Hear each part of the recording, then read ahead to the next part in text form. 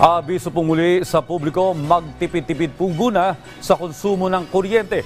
Ito'y dahil nananatili pa rin manipis ang supply nito ngayong araw. Batay sa abiso ng National Grid Corporation of the Philippines, magsisimulang isailalim sa yellow alert ang Luzon Grid mamayang alas dos ng hapon. Ito'y dahil apat na planta pa rin ang naka-force outage. Sa Visayas Grid naman, umiiral na din ang yellow alert dahil sa isang planta nito ang naka-force outage habang ang walo ay limitado lamang ang kapasidad.